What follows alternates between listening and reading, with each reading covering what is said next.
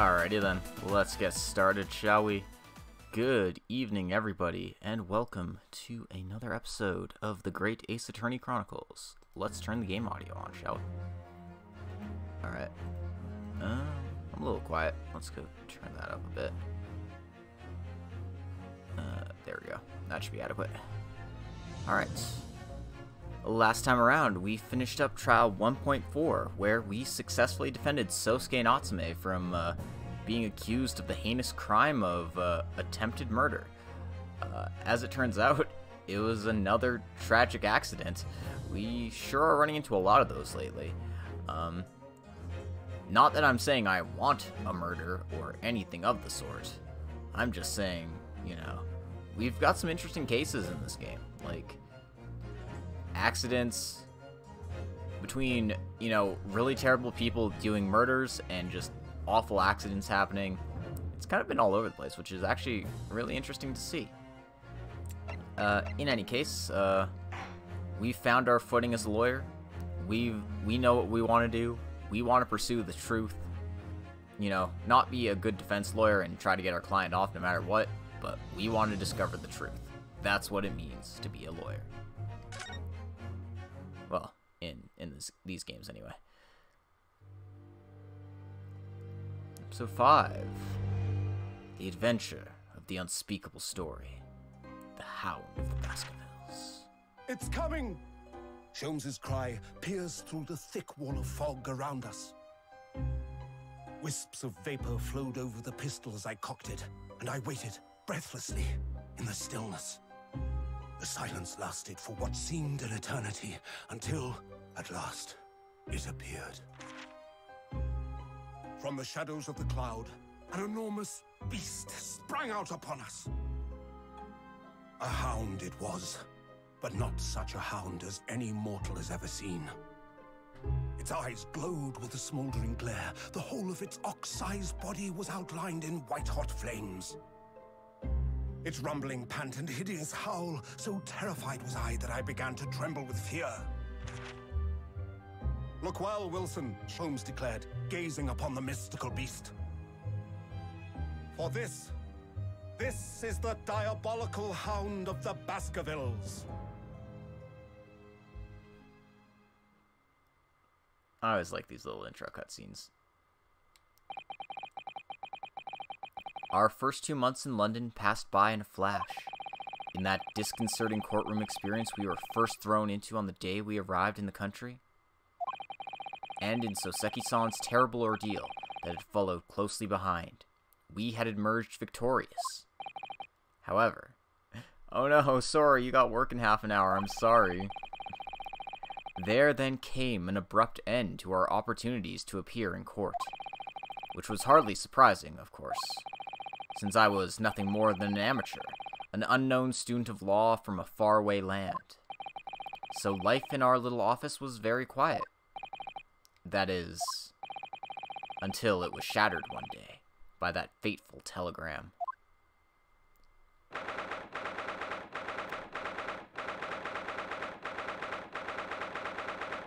Naruhodo's Legal Consultancy. Alright. Got one of those now.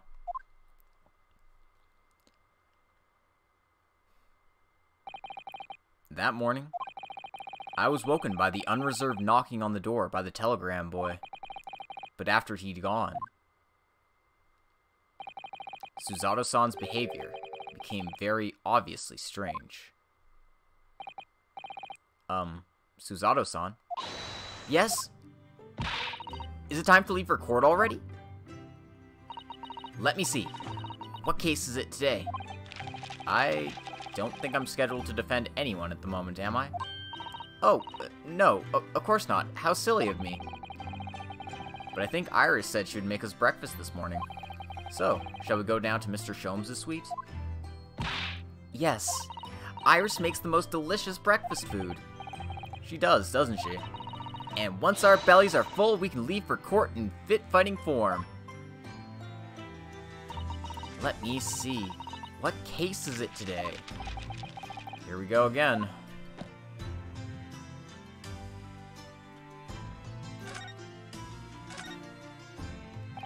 So, what was it about?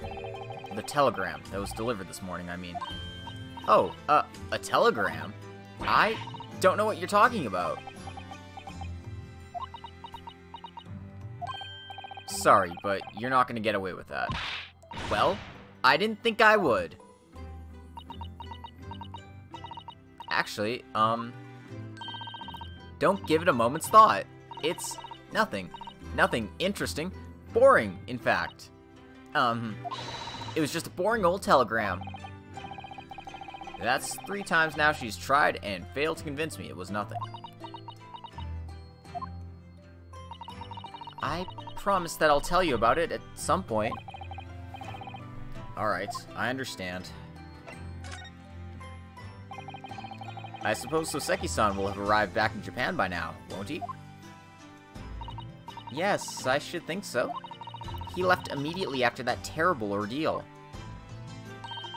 Which would mean he should have completed the voyage already, or be just a few days away. A fortnight ago, we had that very long telegram from him, do you remember? Complaining of seasickness. But by and large, it seems the voyage has been going well. Is something wrong, Naruhodo-san? I was just wondering, what might have become of Soseki-san had he stayed in London? That's all. You mean, as regards to Lord Van Zieks, the Reaper? Yes, I can't help wondering if seasickness would have paled into insignificance in that case.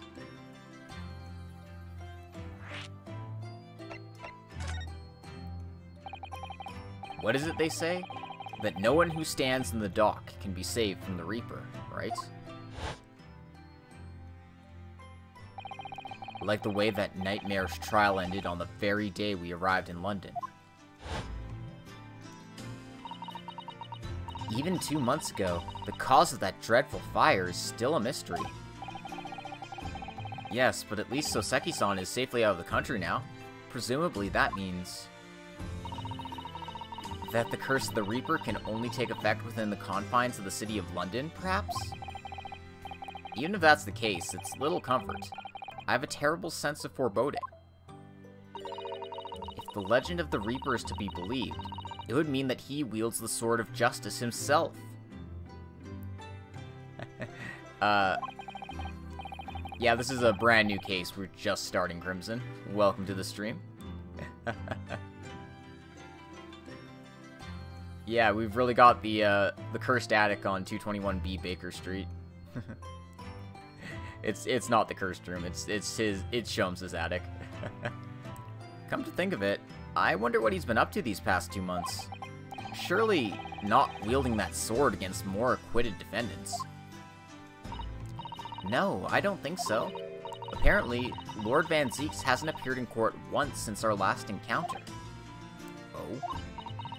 Yes, since Soseki-san's trial, he's withdrawn from judicial service again, it seems. Really? Just like before, when he wasn't seen in court at all for several years. So it's just been me who's had to face him in his recent spate of trials, then. Ugh, just my luck. I wonder if luck doesn't come into it. Uh, sorry? What was that? Oh, nothing? Uh, never mind. No, no. Cl cl clarify your statement, Susato. Here, check out my armband. Bless you, Sholmes, though I bet he just wants us around to help him out. Hey, he needs a partner for his great deductions, and that's what we're here for. it means a great deal to me, you know? That you cherish his armband so, and wear it each time you appear in court. Well, it's very important to me. It's what shows that I'm a lawyer. And, whenever I wear it, I feel as though it gives me strength, through Kazuma. I absolutely can't be without it, especially when I'm at a critical point in a trial. But, just the other day, I noticed you wearing it when we went to visit that park. Sometimes I forget to take it off. uh, certain members of the Falcom fandom have astounded me again, and for all the wrong reasons. I think I know what this is about. Uh, this is probably about the uh, cease and desist that Nisa gave to that group that was translating Hajimari. You know, like four months after they decided, hey, we're actually releasing these games in English. So you know, there's official licensing. We have rights. You can't you can't step on an official licensing people or something. No, that's you you just can't do that. Uh,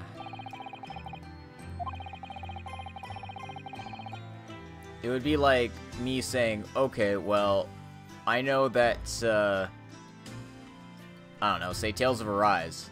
I've got the Japanese version of it, somehow, even though it's releasing worldwide. I'm gonna go translate into English two months before uh, Bamco releases it. Yeah, no, that's not.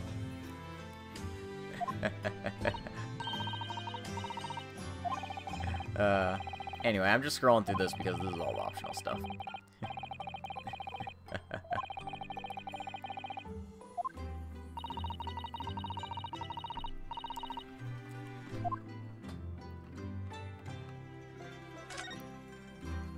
Although, this looks important. Ah, this must be the telegram. Let's see. Ah! No! You mustn't look at that! Not under any circumstances! Uh, alright. I, I won't. I'm sorry, Naruhodo-san, but you can be very mischievous at times. Then put the telegram away if you don't want people looking at it. No, but I, I, I want to look at it. Game, let, let me look at it. Guess that was just a random piece of paper rather than anything important. uh...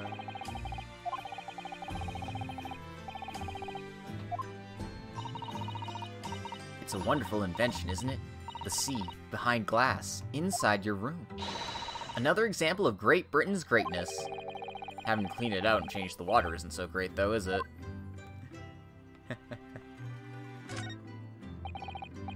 Do you know, I've never seen inside your room there, Susato-san.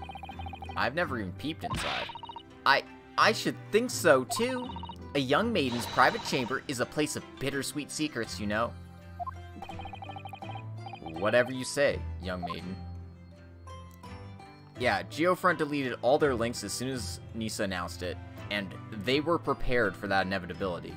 They were like, okay, there's a chance that they could release these games in English they could announce it and we would have to stop what we were doing.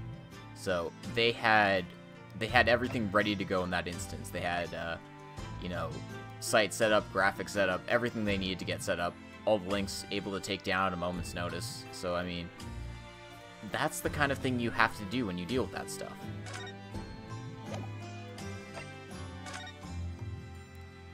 All right, let's go. Let's go get some breakfast.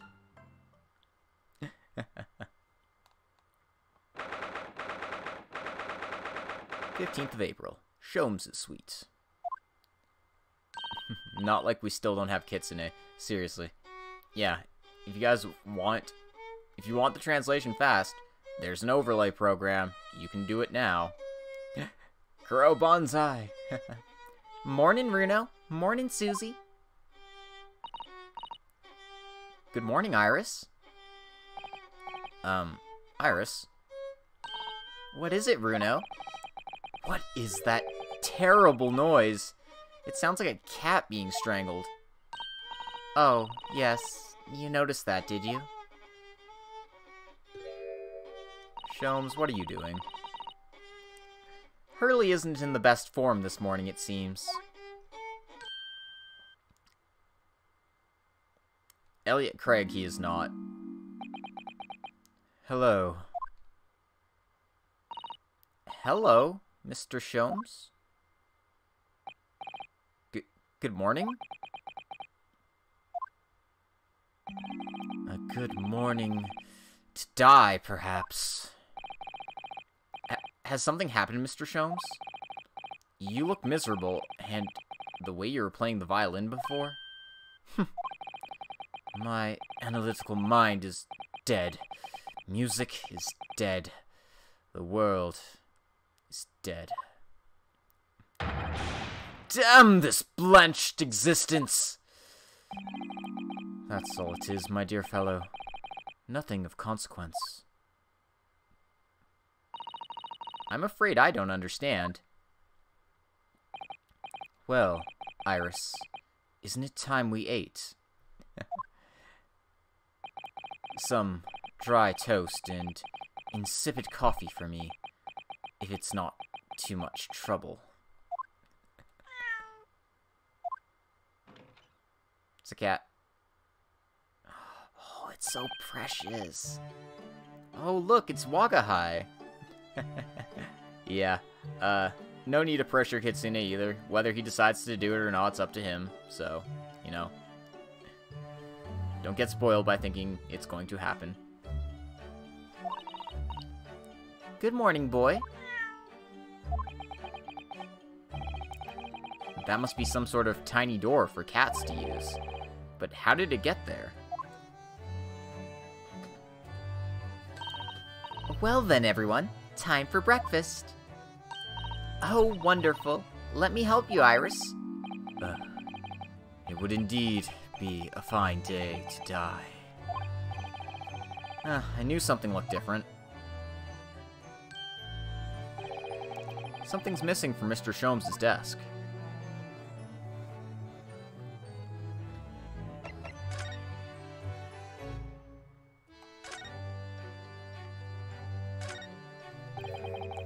Damn cat, can't escape them in any Japanese games.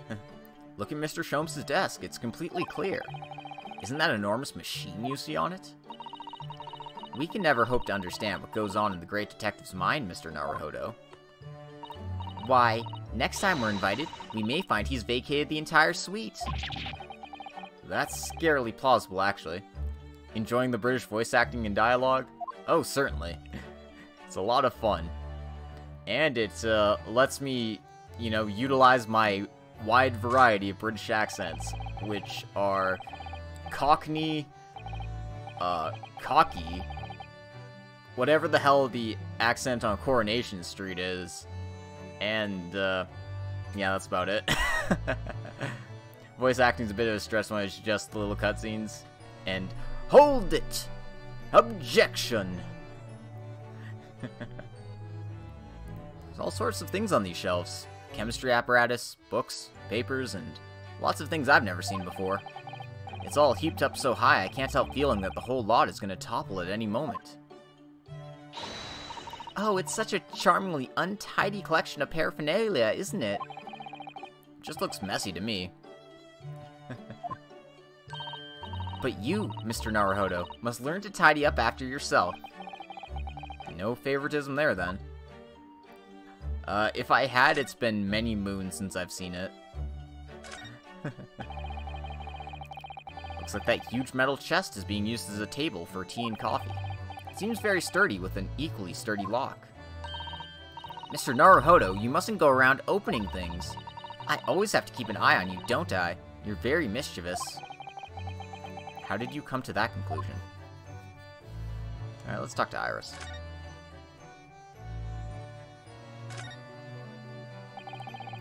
Mr. Natsume's cat seems to have settled into his new home then. Oh yes, and I've become very attached to little Waggy. It appears his previous owners completely forgotten to him. Cats are unfeeling creatures.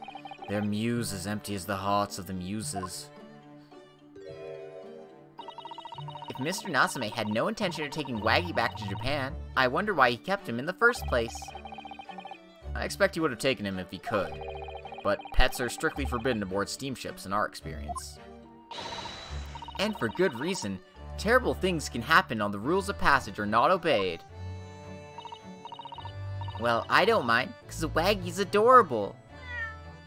Oh, that's so precious. Yes, he really is. Oh, yes, what about the door? I don't remember seeing that tiny thing in the main door before. Where did that come from? Oh, you noticed? You are observant, Runo. Look, I used this. It's my latest invention. What?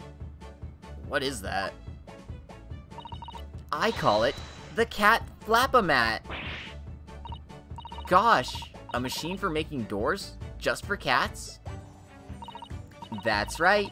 It can make a cat flap for a little furry friend like Waggy in seconds and it can do it at any door at all, no matter what it's made of. It's very powerful, you see.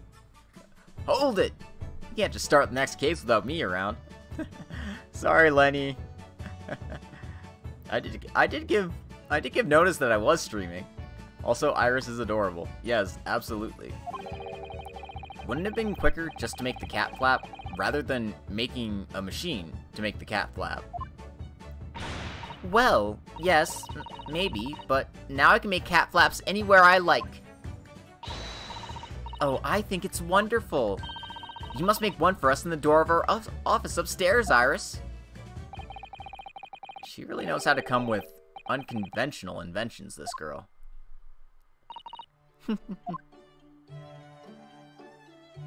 Aw. Adorable. These are all mementos of Mr. Sholmes' past cases, I think. If he'd been involved in my case, I wonder if the beefsteak from Le Carnival would be on display here. A mystery shoe, a curious hammer, some mysterious dancing men, a bust of Napoleon. Oh, what an entrancing collection. It looks like an untidy assortment of junk to me, rather than like what's on my own shelves. Well, you really ought to learn to keep your things in order, Mr. Naruhodo. No, no favoritism there at all. Nisa having Ryunosuke on standby for those CODs. Technically, Ryunosuke is a barrister. They're sending solicitors after these guys. anyway, let's uh let's talk to this dead man. You seem to be very unhappy this morning, Mr. Sholmes. What's happened? It used to be the case that in my hands, this violin sung like the dawn chorus. Its mellisonant tones would make flowers bloom. It, it would? But now, the muses are unamused with me. The goddesses of music have thrown me over. They send in Zeke's instead, and he just throws in a wine bottle as the actual C&D. it almost sounds like he's giving it as a gift when you say he throws it in. no, he just throws one at them. Pray, forgive the discourtesy. Oh god, the glass shards are in my eyes! Whatever do you mean, Mr. Sholmes? For hours I have bowed, for days even, through the night I have endeavored to no avail. That sound, my tone, is lost. That brilliant, clear, unwavering tone, gone forever, no more recitals of unbridled emotion. Well, you haven't been practicing much lately, have you, Hurley? Don't worry, I'm sure it'll come back to you in time. Heed my words, Mr. Naruhodo. The goddesses of the arts are fickle. One day they bestow genius on a man, the next they unmercifully withdraw it. Oh, dear. Ah, why is this happening to me? They take the turn I have for the violin from me. What is left for pity's sake? What is left? Um, deduction, perhaps? Isn't that what you're known for?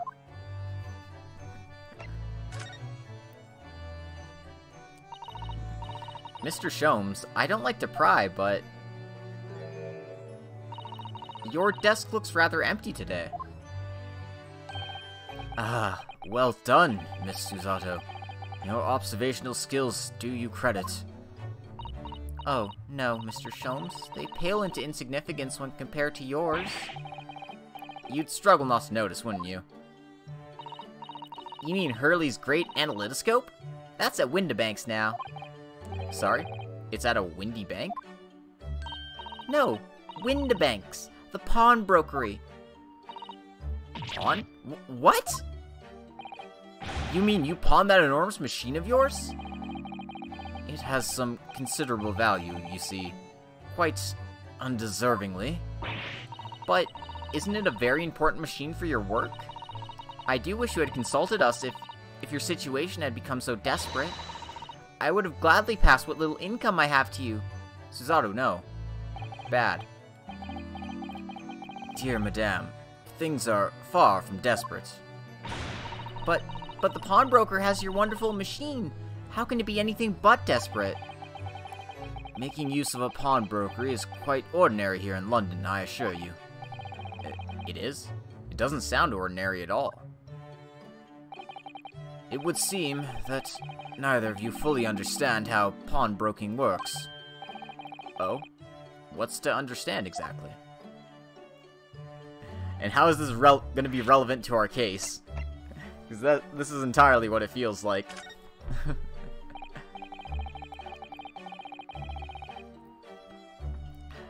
what did you mean when you said we didn't fully understand how pawnbroking works? To the people of London, pawnbrokeries are akin to banks. Banks? On Mondays, merchants relinquish their finest jackets and trappings to their pawnbroker of choice. With the money they receive in return, they are able to trade happily through the week. And then on Saturdays, they go to recover their things using the money they've earned. I, had no idea. This has been a fascinating lesson for us. Everyone does it, you see, especially people in inner London. And should they have money to spare, they would purchase another fine jacket. Not to wear, obviously, but to pawn, should the need arise. Oh, how ingenious! So whenever we have something that's getting in the way, we leave it at Windibank, sissy. Pawnbrokery can be thought of as an extremely secure vault. Who would have thought that even pawnbrokers are different here in Great Britain? Of course, you have to watch Hurley with it. Sometimes he pawns things he really shouldn't. Don't you, Hurley?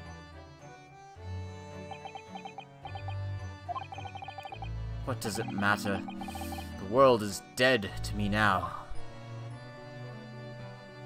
Oh, poor Sholmes. Oh, what was that? Wagahai? Uh-oh. That's not good. What was that? Oh no! Wagahai's tangled up in your violin! I think he thinks it's a toy! No! What's he doing to it? Oh dear. Mr. Sholmes' precious violin. Why should I care? What? I shouldn't be surprised If the cat is a more accomplished musician than I.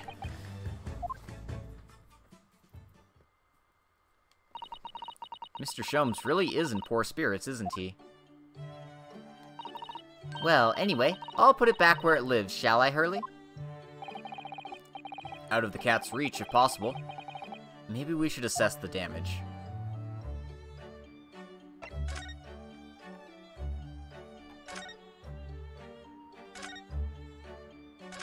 Oh. Like, where, where it at? So this is the violin, is it? It's, uh, Stradivarius. One of the finest violins in the world. Made by the renowned Italian luthier, Antonio Stradivari. Oh, I, I see. Doesn't really look like anything special to me. I happened upon it covered in dust, languishing in a pawn shop down a nondescript back alley. Broker had no idea of its value, so I was able to purchase it. God, I know you're in low spirit, Sholmes, but please talk faster. So I was able to purchase it for a mere 55 shillings. How honorable of you. And until today, it had been my faithful companion in every great Paganini-inspired performance I have made. I ask you, is there a reason to live in a world devoid of music? To tolerate this blanched existence? No! There is none! Sholmes looks like me when I find out it's gonna rain when I'm about to start skiing for a day. yeah, that's that's fair. um, Mr. Sholmes. What, dear madame, what? My thoughts are preoccupied with fancies of release from this dull routine. Well, it's about the violin. It looks very different to normal, don't you think? Hmm? What do you mean, Miss Susato? Oh, Susie's right. Yes, the tone of this wood is completely different. And that's not all. I'm sure there was no crack here before. Wait, it's not even the right size, is it? What's this?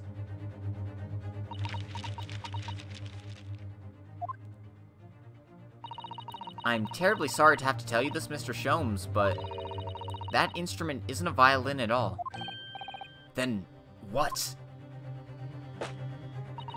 I believe it's an entirely different instrument called a viola. What? What? What? What? oh, Mr. Sholmes, are you alright? You're right! You are quite right. This isn't my faithful Stradivarius. So what, pray, is this piece of stringed flotsam? Not your faithful performing partner, then? I love how intense the music was for something so mundane. yep. oh, I see what must have happened. You do, Iris? This is just a simple mix-up. Sounds like Iris might be able to tell us exactly what happened if we asked her.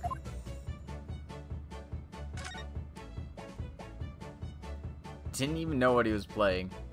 Yeah, I understand that violins and violas look similar and have similar names, but I guess they play completely differently.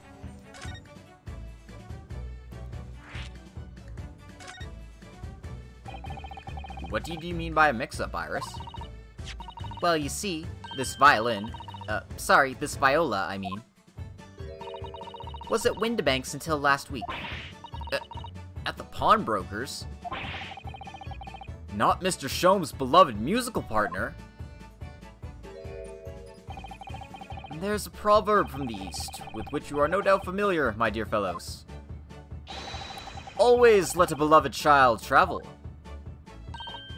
Yes, indeed. So you sent your beloved violin to the pawnbrokers in the hope that it would experience personal growth? Oh, what a wonderful idea! Last week I pawned my great analytoscope in order to release my precious instrument. But it would appear Mr. Windbag mistakenly furnished me with this tawdry fiddle instead. But my ears cannot be deceived by the hollow timber of this piece of timber. Sorry, hollow timbre of this piece of timber. no, but your every sense was deceived by the fact that it just had strings. Pshaw, a fine state of affairs this is. And why I always say, Mr. Naruhodo, never trust a pawnbroker. They'll try to fiddle you every time. Puns. But earlier you told us you could think of a pawnbrokery as an extremely secure vault.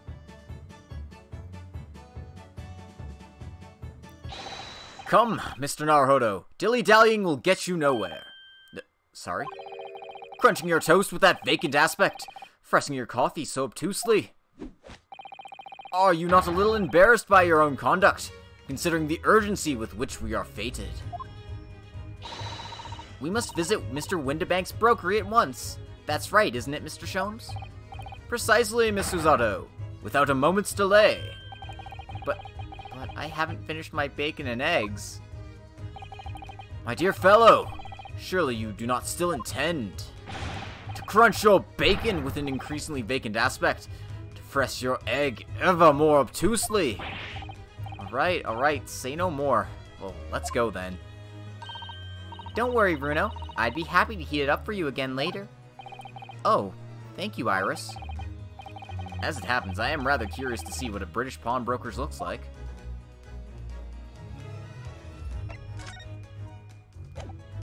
Hold on, we got something very important to show him.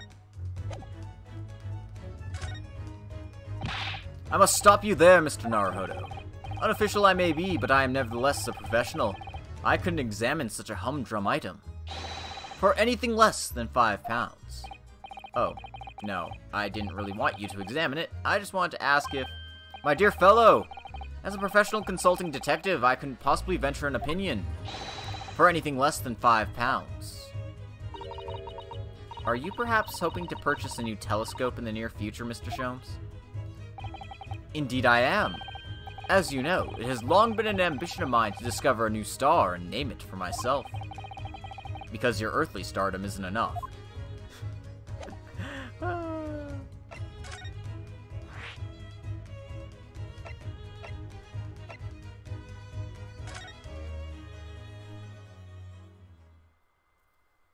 I'm just heading there directly. Deal with it. 15th of April, Windibank's Pawnbrokery. So, this is a British pawnbrokery? Oh my, there are all sorts of tools and contraptions in here that I've never laid eyes on before. Ah, Susato-san, and that spark of wonder in your eyes. You can't wait to scour the shelves, can you? I get the impression you enjoy places like this? Oh yes, I don't know why, but seeing such a lot of things I don't understand is a real thrill for me. My dear fellows, let us not forget why we are here. Oh, Mr. Sholmes. We are calling on matters of business, not pleasure. Sorry, that went too slowly, and I thought he was going to say busyness and not business. and clearly Mr. Sholmes means business too, judging from the spark of fury in his eyes. Ah, Mr. Sholmes, sir. Welcome back. Did you hear that brazen welcome? Well, yes, we are potential customers after all. We are disgruntled customers, Mr. Naruhodo. It is time to inform Mr. Windibank of our ire. Come! The fight is afoot.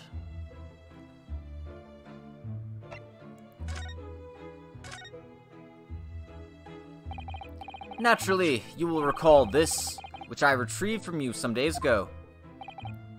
Yes. This second-rate fiddle is not my faithful instrument, Mr. Windibank. The color of the wood is different. It has holes in it. It's not even the same size. A wonderful summary of our observations, Mr. Sholmes. I'm... I'm so very sorry, sir. How utterly unforgivable of me. An inexcusable mistake for a pawnbroker. There's only one way to make amends. What the fuck? Excuse you? I shall have to take my own life. What? I... I don't think that will be necessary, do you? If I may just say one thing before I pop off. Ah, yes. It was you, sir, Mr. Sholmes, who took it upon himself to remove the item the other day, I believe. And here we have cheery music when a man's threatening to shoot himself. Uh, sorry? As I recall, I entered the storeroom to fetch your violin when I heard... Ah, here it is. You did? And when I turned to controvert you, you, you had taken the viola and left, sir. However, there can be no doubt that the blame lies firmly at my own door for allowing you to leave. So I shall not grumble or grouse any longer. May this guilt die with me. No, no, no, stop, my dear fellow. That the fault is mine. That's one way to deal with a Karen. I should try that next time. Although, no. Probably what would happen is like, yeah, go ahead, shoot yourself. What do I care? Whew. It would appear that the fight is over. I do humbly apologize, Mr. Windbank. Evidently, my questionable disposition precipitated this tragedy.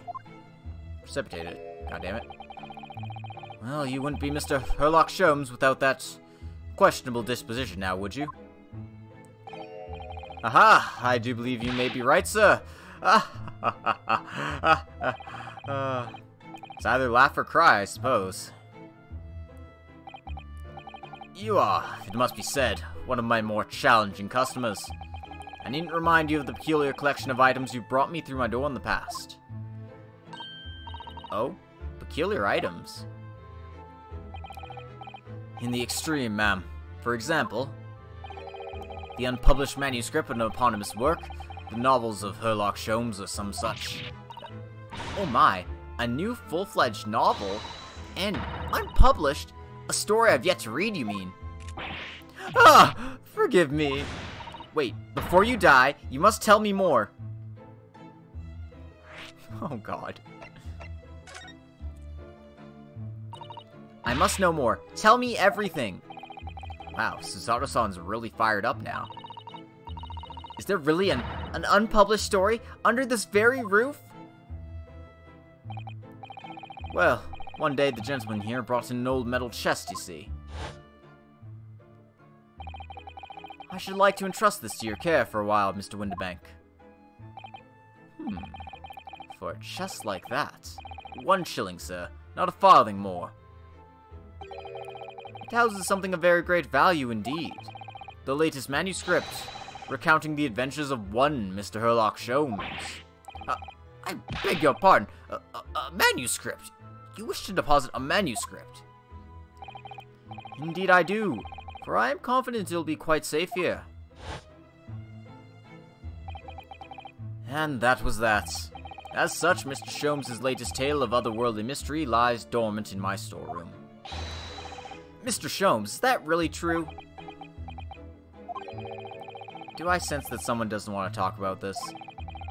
I continue to pay your fee, do I not? Then kindly continue to store my belongings. Securely. Of course, sir. Of course. They're safe and sound with me, I assure you. On my life. This is all very strange. I wonder, could I ask you something? Ah, a gentleman from the east, I see. Yes, that sable suit. I suppose I could offer you sixpence for it. Without wishing to offend, the tone is somewhat dull. Sorry. Ah, but for your splendid attire, ma'am. Five guineas, no less. The colors are exquisite, the design exotic. Eastern artistry at its finest, must I say. Oh my, five guineas, you say? How interesting. Why do I feel as though I've suffered some sort of defeat here? Actually, I was hoping to ask about your business. I've heard it said that pawnbrokeries are used rather like banks here in London.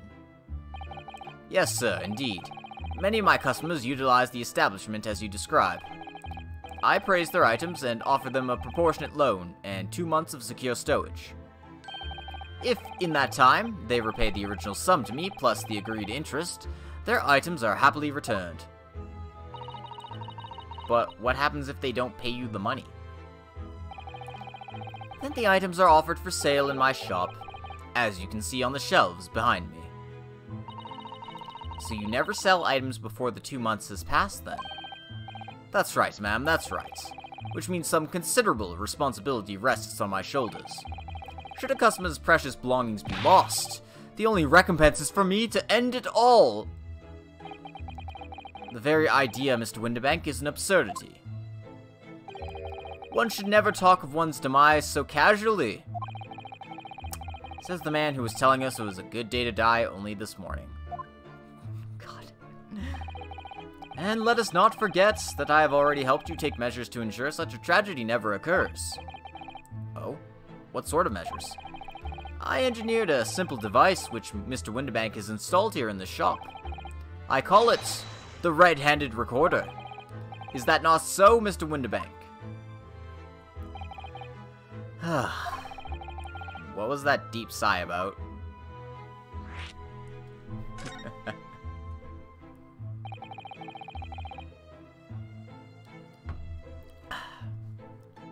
what on earth is a red-handed recorder?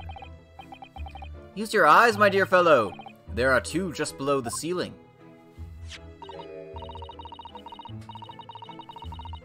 I can see what appears to be a camera attached to some sort of timing device. Very astute! It is indeed a camera, furnished with some hundred pieces of celluloid film. And every 30 minutes precisely, the camera automatically records the appearance of the shop. Here, I have an example I can show you.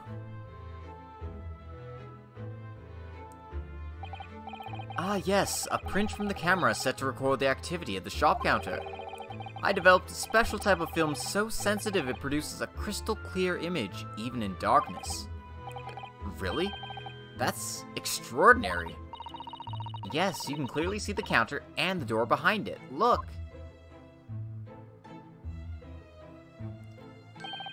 So you see, were someone to enter the premises with ill intent, his identity would be summarily exposed. But did you not say that the photographic prints were taken at 30-minute intervals? Indeed, as you say, my dear madame. Then what if the incident were to occur in between times? One could only say.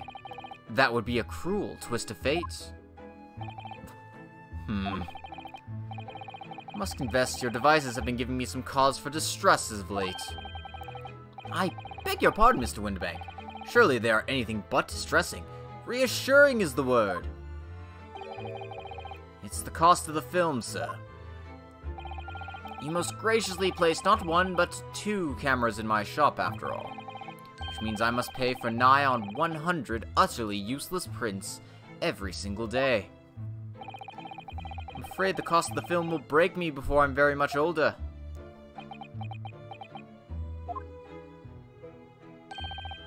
Nevertheless, a small price to pay to ensure the safety of my preferred pawnbroker, you know?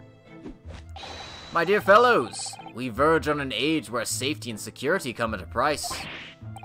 Oh, heaven help us.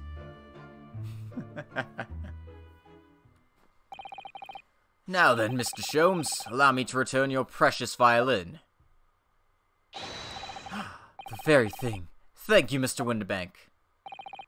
Perhaps this might mark the end of the peculiar items you try to pop, hmm? Because if anything were to happen to one of them, this would be the only answer. Um, I really think you ought to stop waving that gun around. Someone could get hurt. Fear not! Uh, sorry? I've only loaded a single bullet, so no one but myself could possibly be harmed. That's not really what I meant. oh my god. What is with these people? Good day to you then, Mr. Windibank. It's been a pleasure as always, Mr. Sholmes. So, Mr. Naruhodo, now we can explore at last. Now we can save. Because I haven't saved since I started. Alright. Let's go... Let's go have a look-see, shall we?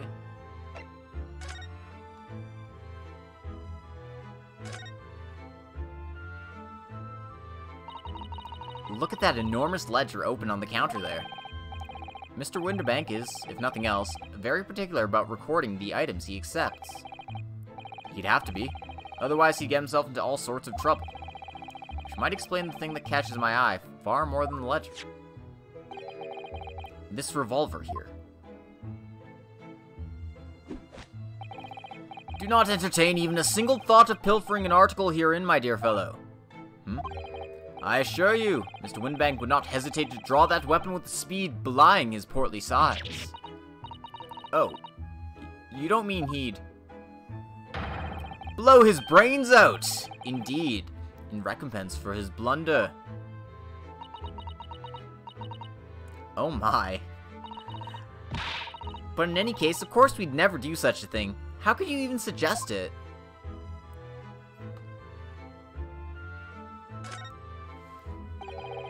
There seems to be a little door hidden behind that curtain there. That leads to the storage room, where Mr. Windibank keeps articles that are currently in pawn. Oh, I see. There's nothing of particular interest inside. I certainly wouldn't recommend any loss in this activity. Uh, recommend or not, it's not something I tend to do. There is but one key, and Mr. Windibank keeps it in his pocket at all times. Before he sleeps, he places it into a small pot, which he slides under his pillow. How on earth did you know about that, Mr. Sholmes? I am a detective, sir. It is my business to know what others do not. I am frequently assailed by information that I neither care for nor wish to retain. I feel like that's just, uh... that's just like social media dot text. I am frequently assailed by information that I neither care for nor wish to retain. I love it. Mr. Sholmes, you are a wonder. And the prime suspect of this pawnbrokery is ever burgled. Look at this! What could this lovely, big, shiny box be? That, my dear madame, is a music box. Surely you have such things in your own country. Oh my, yes, but I've certainly never seen one so large before. that line is great. I'm gonna have to screenshot that one for future use. Oh, absolutely. absolutely. Shall we listen a while?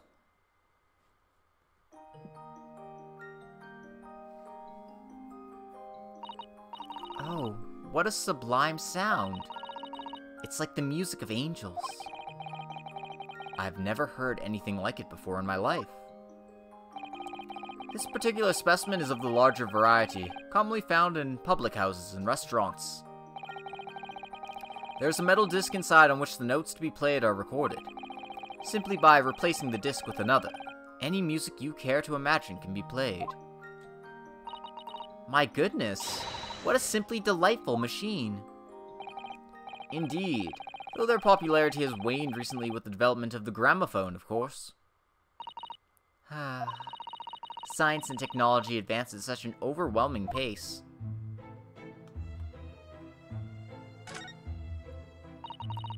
What an assortment of things there are on these shelves here. Crockery, footwear, clocks and watches, almost anything you can care to imagine. Those are forfeited items, offered for sale by the pawnbroker. What does that really mean, though? When you pawn, or colloquially, pop, an item, the broker loans you money against its worth. He stores the item for an agreed period of time, after which the loan must be repaid. If not, he is free to display it in his shop for sale, at a price of his choosing. Oh, yes, now you've explained it, I'm noticing little price tags on everything. Of course, simply by paying the agreed interest on the loan, one can extend the period of safekeeping. So you may pawn that black garb of yours without fear, my dear fellow. My treasured university uniform? Never! It embodies my student spirit.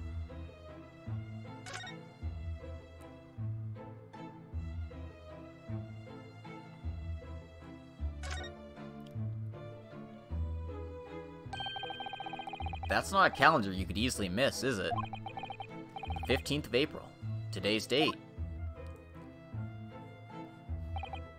Yes, that's not for sale, I must point out. It is an Eastern-style page-day calendar. Every night at midnight, I tear off the front page to reveal the following day's date. The perfect cal calendar for a tearaway fellow such as yourself, Mr. Windibank. And who was it who walked out of here with the wrong violin before? Well, when the agreed storage period has passed without repayment, articles are forfeited, you see. So I have to keep a close eye on the dates. It's something of a pawnbroker's obsession, you might say. Oh, yes. I can see you're very dedicated to your job.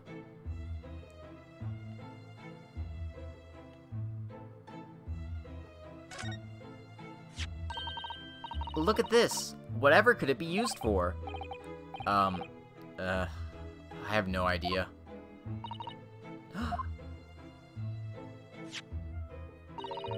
There's a small catch just here, look! We're going to open it, aren't we? Oh my, that's amazing! It has some sort of spring-loaded mechanism. Which we'll never manage to put back to the way it was before. What are you two doing? What? What? Us? Uh, nothing. No, nothing at all. Whatever this device is, it seems to have a pair of little windows to look through. I feel as though I've seen something rather similar to this elsewhere. Are they, uh, weird-looking binoculars or what?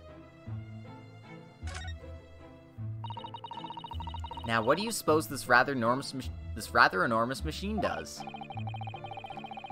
It seems to have two little windows for looking through. Allow me to enlighten you, my dear fellows. What you are looking at is a stereoscope. A stereoscope? Fascinating. It is aptly named, I assure you. Look through the eyepieces and see for yourself. Oh, I should be delighted to. Excuse me a moment while I just have a look. Just before you do, there is something I should point out. My dear fellows, in order to see the image properly, stereoscopically, as it were, you will need to be cross-eyed. However, if that is beyond you, it is of little consequence today. Alright then, I'm going to try it.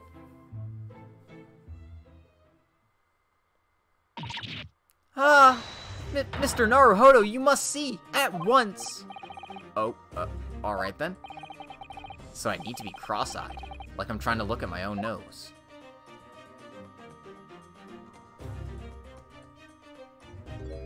Ah yes, here comes the, this is the very obvious gimmick we designed for the 3DS.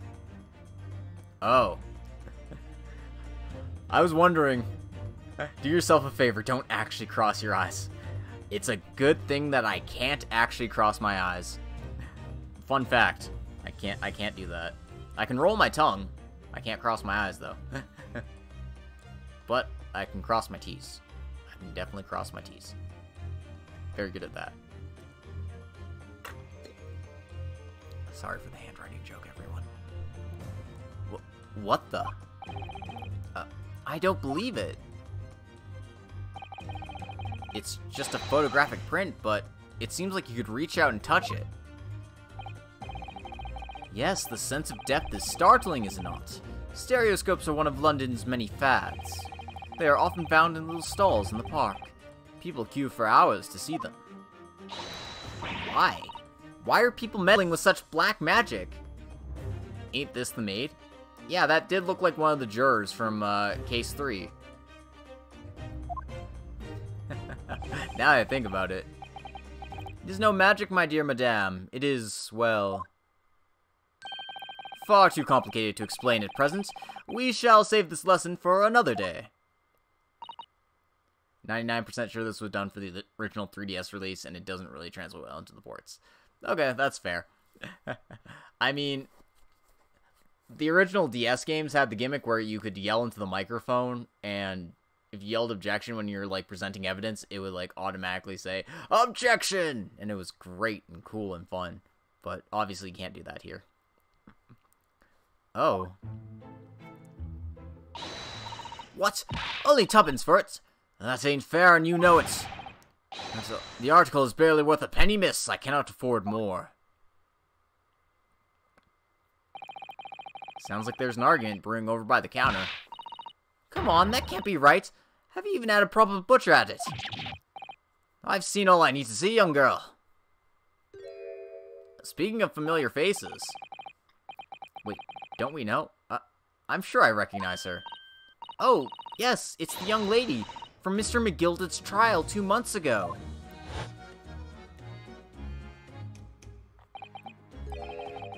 Her name is Gina Lestrade, my lord. She's a chancer, earns a crust among large crowds, relieving people of their purses. What's commonly called a pickpocket.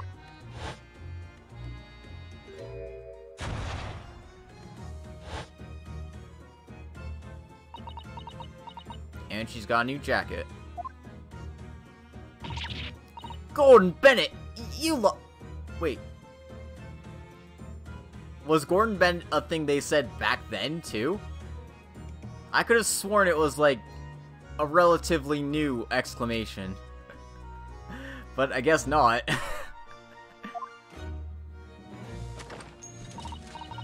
Hello, Miss Lestrade. I hope you've been well. Eh, what? You remembered me then, do you? Well, I remember being completely surrounded by smoke, that's for sure.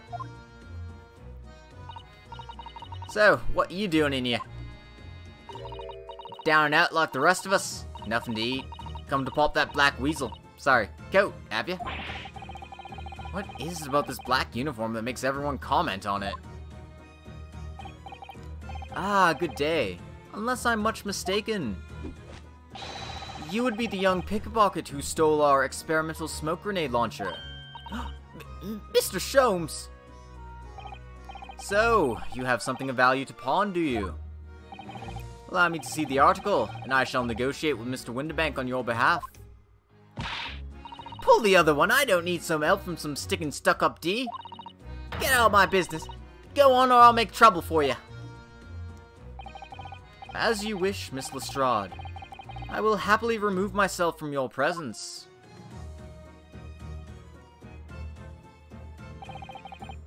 He's really done it. He's gone. I'm sorry, but as I said, there really is no room for negotiation here. What's that thing he has in his hand? Some kind of metal disc? And you! Go on, leave me alone! Oh, Miss Lestrade, just pretend we aren't here. We shan't be offended in the slightest. Susato-san can really stand her ground when she wants to. Whatever.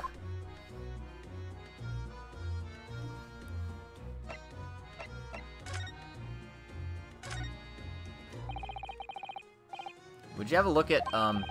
That's strange. Where's my armband gone? What's the problem? Something wrong? Don't suppose. You looking for this? Actually, after doing some research, yeah, yelling Gordon Bennett was a thing from as far back as then. Holy crap, yeah. I thought he was like some sort of like prime minister in the 50s or something. The localization team did their research. They certainly did. Because I've heard British people say Gordon Bennett before after like stubbing their toe. So I was like, okay, well, this must be like a person of some renown recently? But no. No, it's not. You're looking for this. Yes, but but how and when and how again? I got talent for it, haven't I? Diving? That's bordering on black magic. And it makes what I was about to say about my armband seem a little dull. So, what you want to tell me about it then?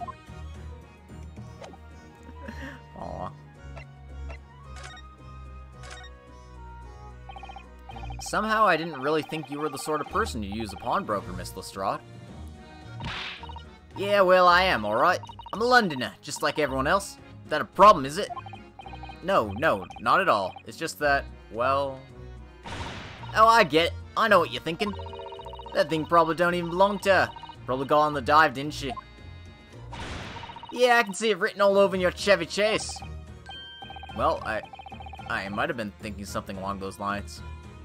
I didn't realize uh, Chevy Chase was also a saying they used, but hey, the more you learn.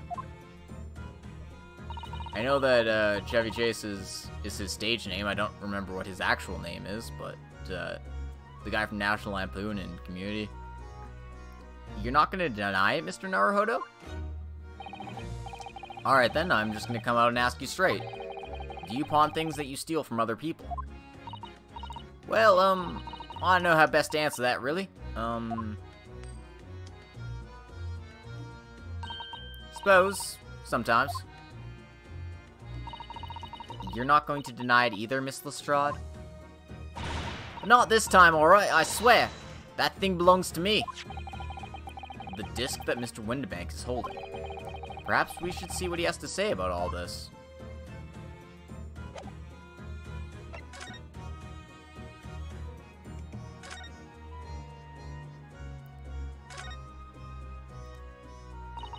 Mr. Windibank, what exactly is this metal disc that Miss Lestrade has brought in?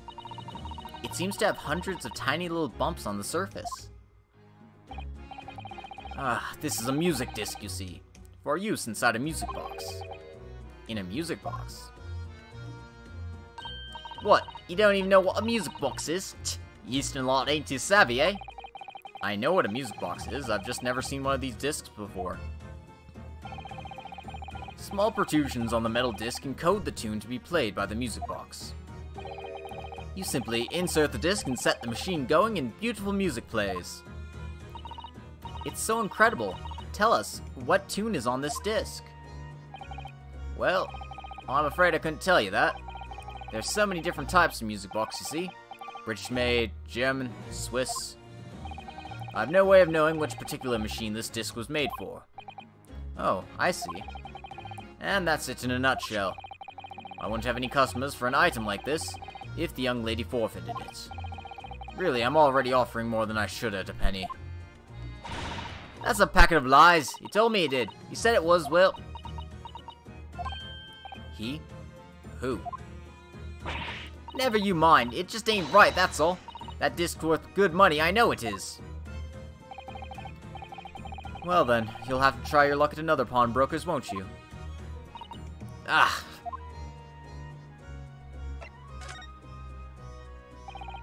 She's been in before, of course. This lad, this little tatterdemalion. I see. Brought me some dubious article or other with her every single time, I might add. Dubious? What you trying to say? I'm an honest customer, me. So, is there something dubious about the disc she brought in today? Well, if only it were that simple. Uh, sorry? What do you mean? What she actually brought in was a storage ticket. Uh, a storage ticket.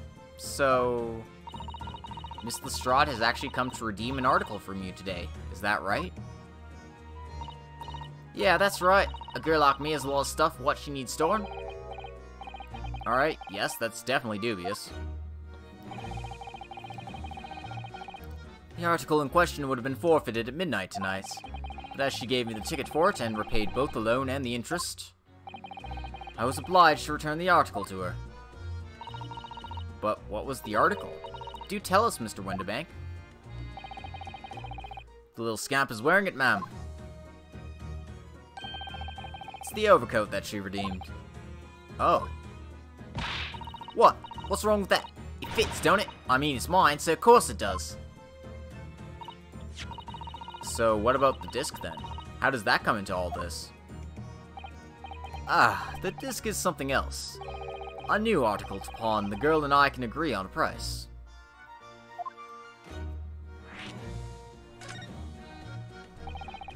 I'm confused. I thought you said that Miss Lestrade brought in a storage ticket today.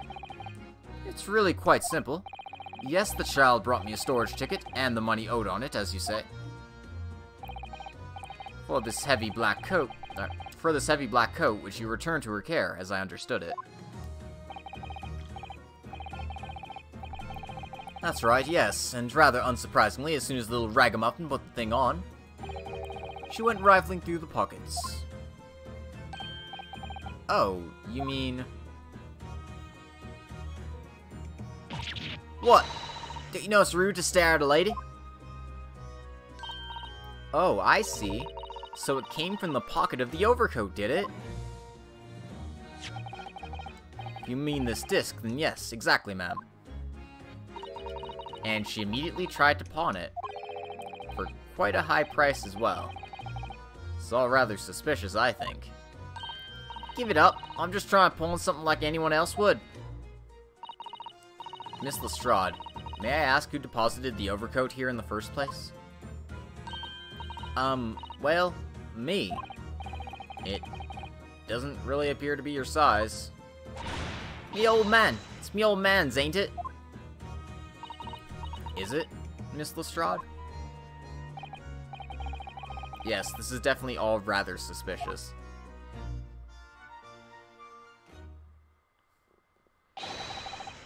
Out of my way, please. Who's this picture postcard English gentleman? Damn, dude, why did you steal exactly what I was thinking?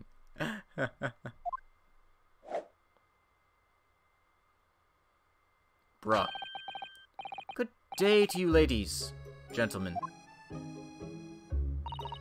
What's your problem, eh? There's no problem, as long as you remove yourself. I have a matter to discuss with the proprietor. And if you intend to make a problem of it, I shall see you outside, little girl, for the hiding you deserve. Look, ain't it obvious? I ain't done talking with him yet. You think you're such a gent, you should know how to wait in line. Well, you are an impudent little brat, aren't you? As well as a pickpocket. Eh? Who, who are you?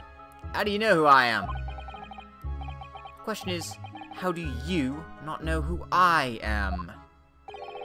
You haven't the courtesy even to remember the faces of your victims, it seems. What? Y you mean I... Uh, from you? Broker! Uh, yes, sir? I believe this filthy pocket thief has just redeemed an article from you, no? Yes, yes, um... The article in question belongs to me. I demand for it to be returned at once. Oh my. Now, that's a lie. What you trying to pull? Give me back my overcoat, you wastrel. Needless to say. Any music box discs, too. Uh, uh, no, you can't have it. You just can't. It's me old man's. Oh, it was. Now it's mine. Goodness, Mr. Naruhodo. This is a very awkward situation. Yes. I think perhaps we should hear both sides of the story in a little more detail. Oh great, are we playing arbitrator between an English gentleman and a pickpocket? Alright, let's go.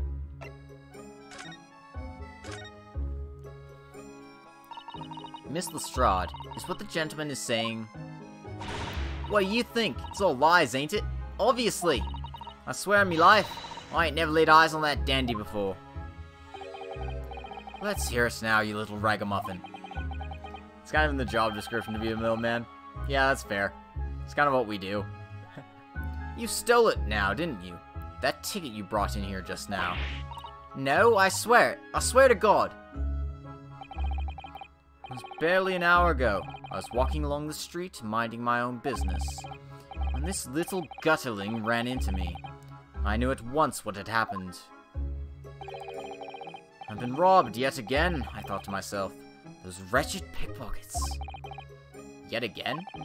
Oh yes, as you can see, I'm a man of impeccable style. This isn't the first time that I've been targeted by these backslum scoundrels. Now then, relinquish my overcoat. I'm just gonna call this guy Speedwagon, because dude reminds me of Speedwagon so much. Yeah. Come along now, Miss Lestrade. Give the good gentleman his coat back. If you're going to cause trouble, I shall have no choice but to call the police. Hold on. Why does everyone think it's me? Just look at this dandy cove. You think I'm the dodgy one. Sorry, but no one's going to believe you. Well, what about evidence? Yeah. Where's your evidence that I stole something, eh? Come on, let's see it. Oh, I have evidence. Naturally. You, what?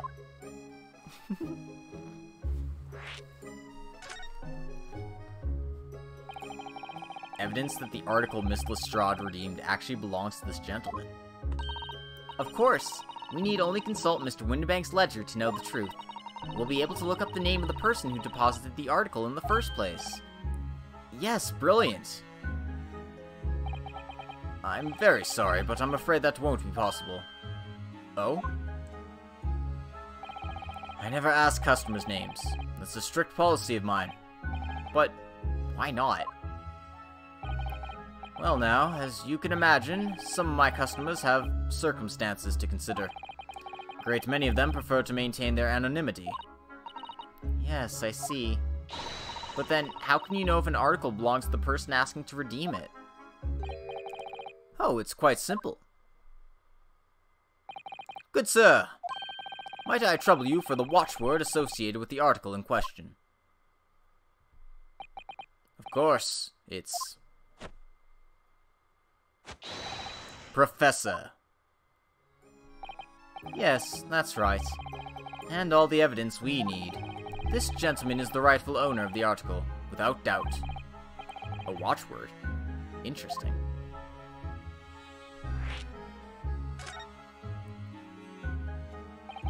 So, about these watchwords, Mr. Windibank.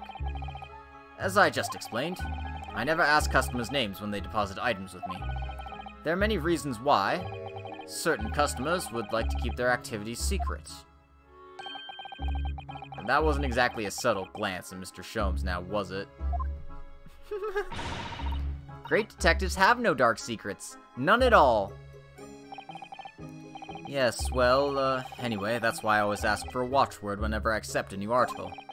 In many ways, it's like the secret combination of numbers used to unlock a vault. Date of deposit, a description, and a watchword uniquely identify each item. And of course, then I give the storage ticket to the customer. When someone comes to redeem something, I ask for the ticket and the watchword. And if that someone tells you the correct watchword, you return the article? That's right, sir, yes. Just as soon as the requisite fee is paid. And I have supplied you with the information you require already. But for the avoidance of doubt, the article in question is an overcoat, deposited two months ago on the 15th of February. With a watchword of Professor. All perfectly correct information, sir. But, but, ow! Really, this is beyond a joke now. There's no further room for doubt. Ugh. Well, it's sounding like he pilfered it, that's for sure.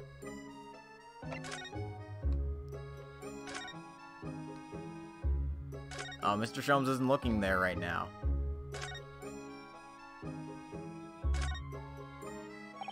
Uh, excuse me, but who are you? One would expect the Inquirer to introduce himself first. Though clearly you are not British, so perhaps our ways are foreign to you. Oh, uh, sorry, yes, we're from the Empire of Japan. We're studying here. Oh, yes, Japan. I've heard talk of the place. Its inhabitants live on some fiery brown-colored soup, dressed with exotic spices. You might be thinking of somewhere else. And what was that theatrical gesticulation about? Perhaps. Anyway, if you are a gentleman, sir, you offer your own name first before inquiring after the name of another. Uh, of course, yes. Uh, I'm Ryunosuke Naruhodo. I'm a lawyer. Well, a student of law, really. My name is Susato Mikotoba. I'm Mr. Naruhodo's assistant. I see. My name is Benedict. Yes. what is with these food puns? I, th I thought beef stroganoff was gonna be the end of it, but no, we get frickin' Eggert Benedict.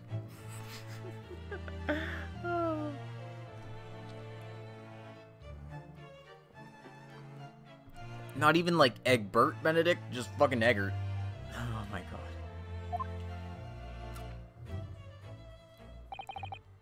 Enchant. He's so refined in how he holds himself and how he speaks, but that name is suspicious. now, to the matter at hand. My overcoat! Return it at once. Someone with the style to carry it off. Ugh. Every move he makes, every breath he takes, can't stand watching him.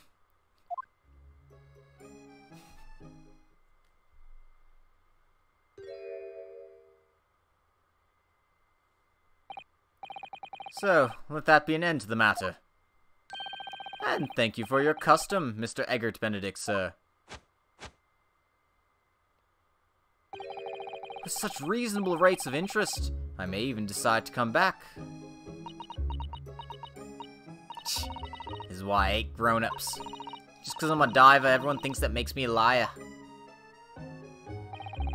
And the contents of the coat pockets, if you please, broker. But of course, sir, here's the disc for you. Just this one. But, pardon, sir.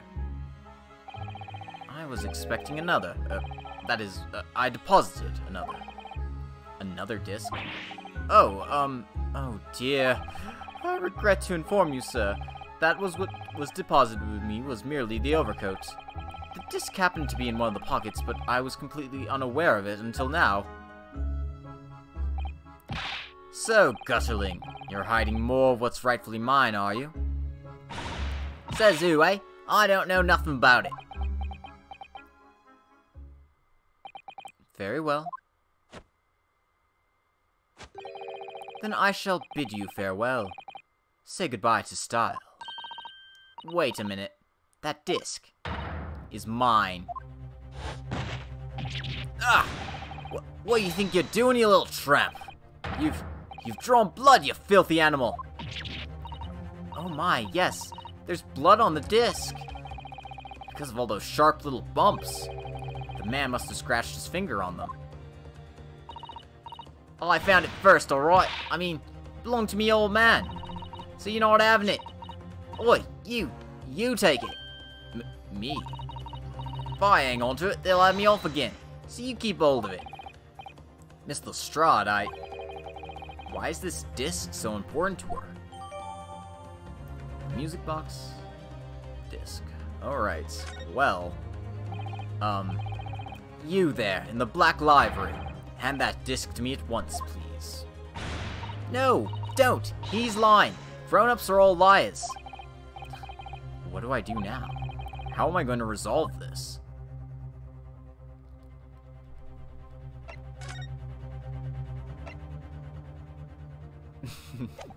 that, that's that's how I would do it, but uh, clearly that's not the solution Alright. Someone on the localization team skipped their breakfast. Man, I I need breakfast.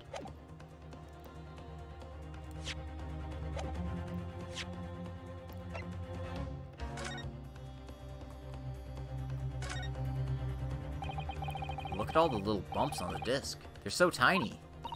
Yes, the protrusions are called pins, and they pluck the teeth of the comb to make notes.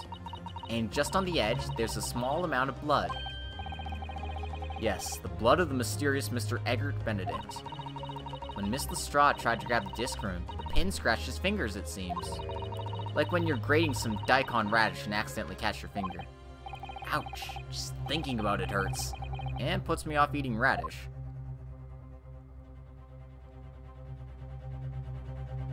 What the fuck? Excuse you? Oh, there's a little scrap of paper stuck onto the reverse side of the disc. Look! And a scribbled word or two. It looks like somebody's name. For McGilded. M McGilded? It, it couldn't be. But it is Mr. Naruhodo. A name I shall never forget for as long as I live. But Why? Why is his name on this?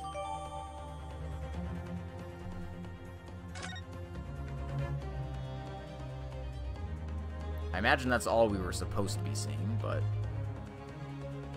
Okay, that's what they that's what they look like in 3D. Because it was like, oh yeah, they're just bumps, right? Well, you can't really see them from that perspective, but when it looks like that, oh yeah, they're hella spiky.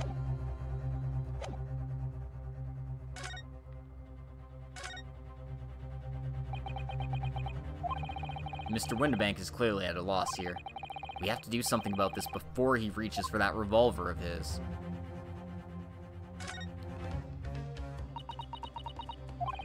Wow, Miss Lestrade is really looking daggers at, at that mysterious gentleman. We need to do something to calm things down before she loses control and attacks him again.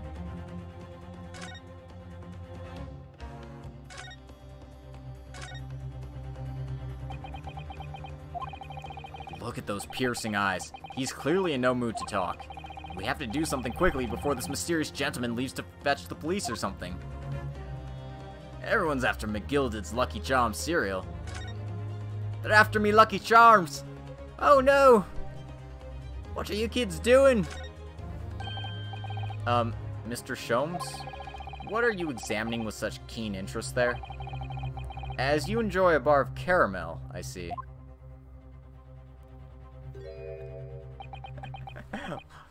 Logic scrolls over to see Herlock. Logic immediately scrolls back over to ignore him. Yeah, that's exactly what I do. I, I wanted to talk to everybody first because I had a feeling Sherlock was uh, was our way to proceed. so, you found me at last, Mr. Naruhodo. Sorry? After that young pickpocket sent me on my way, I was forced to look in the shadows. Cruelly ostracized, the rest of you partook in the jovial atmosphere of fellowship. I had nothing to occupy my mind, but was too ashamed to let society see what my downfall had done to me. So, feigning mock interest, I, I pretended to examine the tedious trinkets in this desolate place. Whilst, as you shrewdly observed, gnawing on the only friend I have left, this 7% solution of caramel. Pray, do you claim to understand the depths of my despair, Mr. Naruhodo? How could you? I was so lonely, so desperately lonely. Then why on earth didn't you rejoin the conversation? Things have gone from bad to worse here, you know. Yes, I overheard much of your conversation. Or rather, my craving for human contact, my ears devoured every word that was uttered. You really were sad, weren't you? Poor Mr. Sholmes. I feel simply awful for you. It would seem. My inferences are correct. Oh, surely you're not about to tell us that you've solved the entire case once again. My dear madame, sometimes I wonder, were my genius for deduction to be commoditized? How much could I pawn it for? It seems Mr. Sholmes has had another one of his flashes of inspiration. But who knows if it'll help us to resolve the situation between Miss Lestrade and the mysterious gentleman. What's the right thing to do here? I mean... Obviously, we're gonna listen to the, to the deduction. Come on.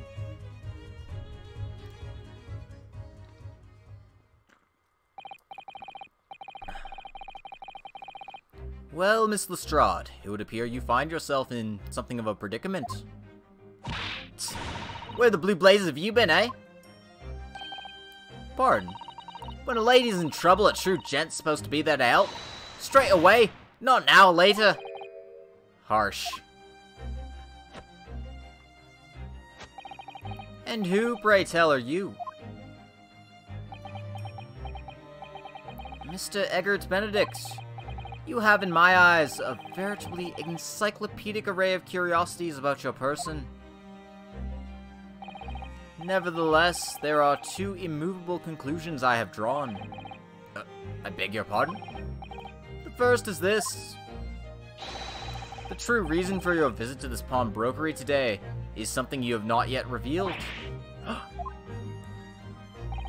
and the second is this. A considerable crime is in contemplation, one you will orchestrate with intent to steal a vast sum of money. Well, Mr. Benedict, what say you to my deductions? How? He's turned as white as a hard-boiled egg. It would seem that once again, Mr. Sholmes has made a flawless deduction. Just, just who do you think you are, sir? Ah, yes, as I had hoped. That is precisely the pained expression I was looking for.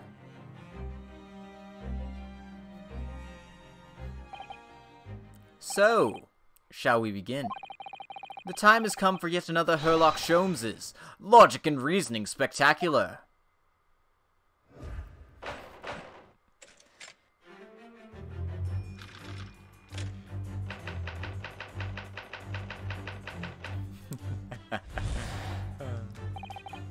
First of all, we must ask ourselves, on what business you ventured to this pawnbrokery today?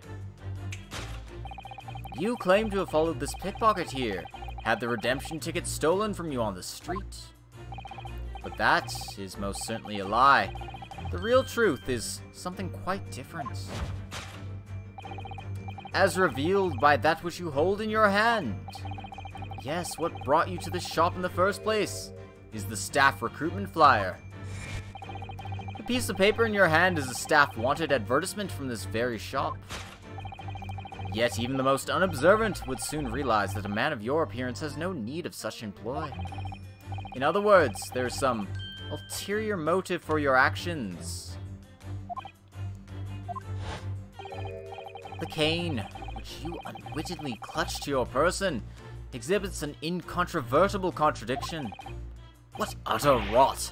I've I've had this cane for years. The contradiction of which I speak is, of course, the missing ferrule. The end of any walking cane would be terminated with a metal ferrule to protect the wooden tip. And yet, detailed analysis shows the wooden tip of this stick to be utterly bare. Therefore, there's only one conclusion. The rod that you hold in your hand, which appears to be a walking cane, is in fact no cane at all. You recoil, sir. Is something wrong? I, well, I. And in your recoiling, you inadvertently facilitate the answer of the next conundrum to present itself. Namely, what is the truth behind this rod you bear? Yes, your reaction betrays the truth. The handle, which you evidently would like to conceal, is the key to understanding this riddle, you see. From the moment I saw it, my suspicions were aroused. What walking cane demands such a stout handle, mused I. But of course, as I said, this is no walking cane. No, that rod. Is the broken handle of a shovel. What? Are you insane? And now, having determined this undeniable truth, the conclusion is clear. Your true motive for coming here was to take employment at this establishment in order to excavate the ground beneath the premises. What a calculated crime you've conceived, sir. A wickedly calculated crime. wow, this is this is already a disaster.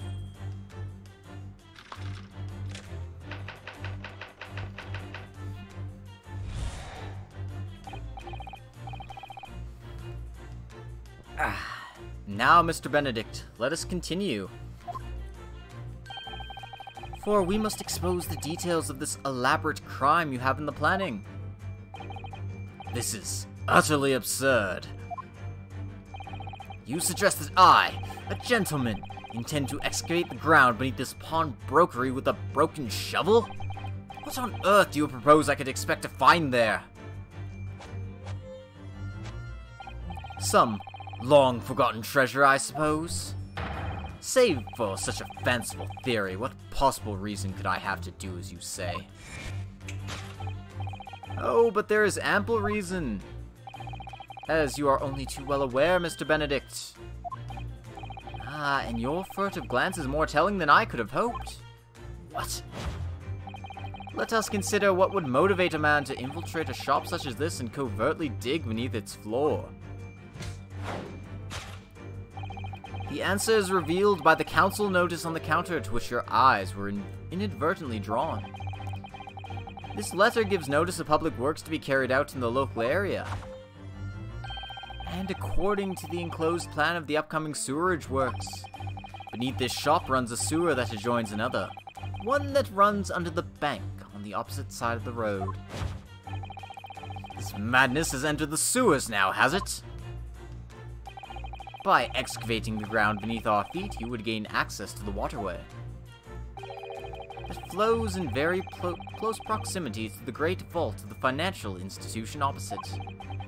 What are you? In summary, sir, you're, you devised a master plan to pull off an elaborate bank robbery by dint of the underground tunnels. Master plan? Which brings us at last to the final chapter of this lurid scheme. With what plunder did the thief hope to make off from the underground vault of the bank? Uh, are you quite serious? Having consulted with Scotland Yard some days ago, I happen to know the answer. But naturally, the answer is no secret to you, is it, Mr. Benedict? I have no idea what you're talking about. Allow me to present a rather interesting piece of evidence. You see, this picture postcard tells us all we need to know. A postcard of the Great Exhibition? Afraid you quite lost me. Currently in the final stages of preparation, the Great Exhibition will soon be underway. And the government has provided extra funds to complete its centerpiece, the Crystal Tower. Funds that currently sit in the vault of the bank, on the other side of this road. Pardon? Yes, the considerable crime to which you've been contemplating is the theft of that which sits in the vault of that bank, the special reserve funds for the great exhibition. Of course, that is top secret police information, so keep it under your hat, please. You can keep a lot under that hat, that's for sure. Also, holy crap, that is one hell of an absurd explanation.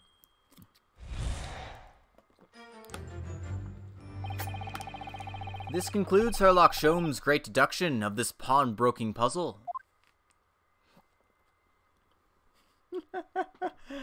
Holy crap. Um, Mr. Sholmes?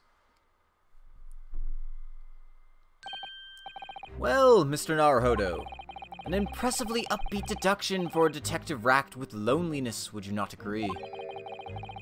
Was it true what you said about the bank over the road and what it has in its vault? Indeed, though few know of its existence.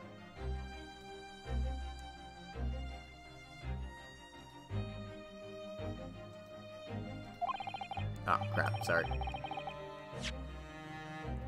I got a I got a ping on Discord and I had to check it out, and then I accidentally clicked through uh, some of the text here. Indeed, though few know of its existence, it is one of the government's most closely guarded secrets. Gregson told me, in the strictest confidence. But you just announced it to everyone here. Rather loudly, in fact. Ah! And if it's such a big secret, how would Mr. Benedict have come to find out about it? There can be but one explanation for that. Clearly it's because the man is a criminal. But what if he didn't know anything about the money in the vault? If he is a criminal, as you said, then buying a brand new shovel is sure to be the first thing he does now that you've revealed the secret. Oh. Or if he doesn't, maybe Mr. Windibank will. He already has plenty of shovels here after all. Oh my life! I assure you I'm not so unscrupulous. hmm, well, uh, hopefully this has taught you a valuable lesson. Sensitive information must be handled with the utmost of care. One can never be sure that someone privy to secrets won't disclose them. And once the word is out, it's out. Perhaps I'll think twice before confiding in you next time, Mr. Sholmes. An excellent idea, Mr. Naruhodo. An excellent idea. well then, Mr. Naruhodo, you know what to do, I'm sure. Yes, let's listen to that great deduction again, and see if we can massage it into shape. Very well then, let us start once more from the beginning. Of Herlock Sholmes' magnificent logic and reasoning spectacular.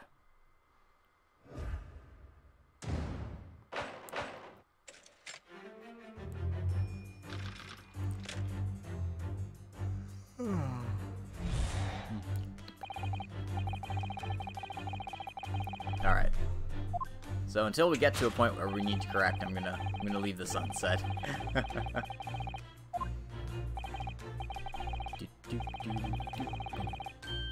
just gonna vibe to the to the deduction music because it's so good.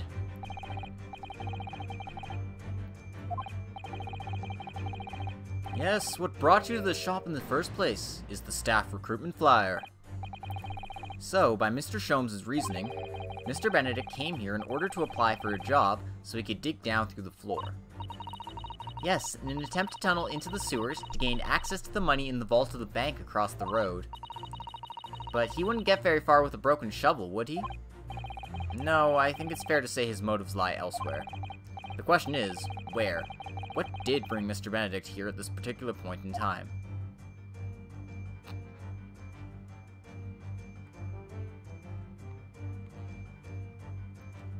I wanna... Okay, I guess I can't examine his hand.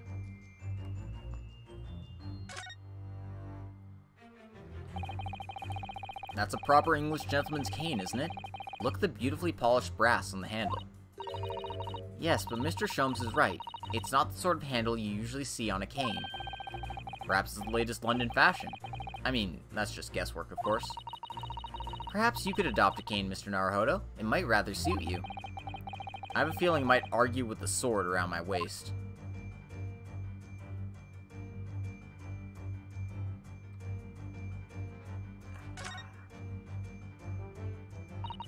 Oh. Look at the scribbled notes on the back of the flyer here. I don't believe it. What is it? Listen to what it says.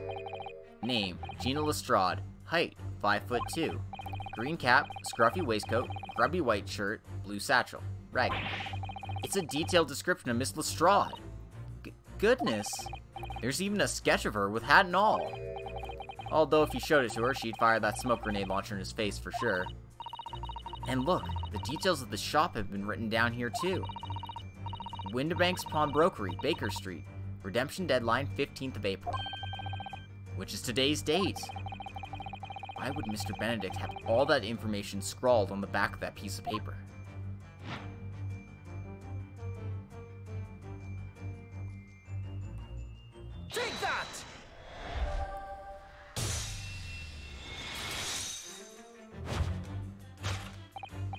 Yes, what brought you to the shop in the first place is the info about Miss Lestrade. Quite so, my dear fellow. It would appear that the writing and sketch on the reverse of the flyer pertain to the pickpocket, Miss Lestrade, and Mr. Windibank's pawnbrokery here. You originally told us that you had merely given chase after Miss Lestrade stole the redemption ticket from you. That, sir, is a thinly veiled lie. Is the information on the back of the flyer that led you here today, by which I mean here to Windibank's Pawnbrokery. And today, the redemption deadline of that overcoat. So, you waited outside for the young girl matching the description you've written down to arrive. Hmm.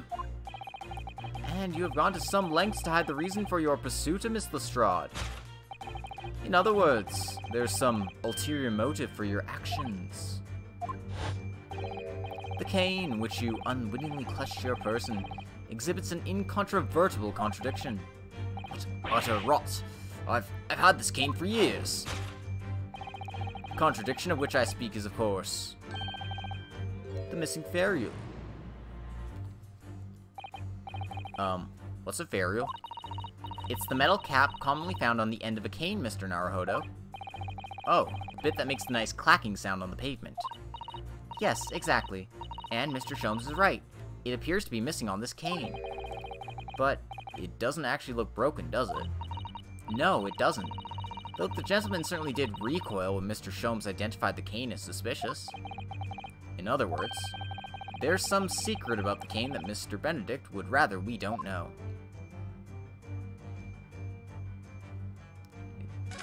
The hat. As stylish as it no doubt is, I don't think this white top hat suits the man, do you? No, not at all. The more I look at it, the more something strikes me as suspicious about it. I think perhaps it's not so much that it strikes you as suspicious, but rather that the, the hat is just striking. I suppose you're probably right.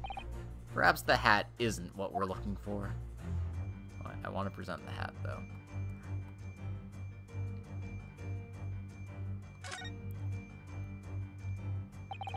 Look here, Miss Susato. There's some letters on the handle. Ah, yes, those must be initials, I think. In the West, it's customary for people to engrave their belongings with the first letters of their name. So Herlock Sholmes would be HS, you mean? That's right. And the initials on this cane, obviously. Oh. A. G? Why does it feel as though that's not quite right? Because you can't get Benedict Egbert from AG. Take that! So he's using an alias. I mean, obviously he's using an alias. Or he stole it. Either is an option. The contradiction of which I speak is, of course, the initialing. A most astute observation, wouldn't you say, Mr. Egbert Benedict?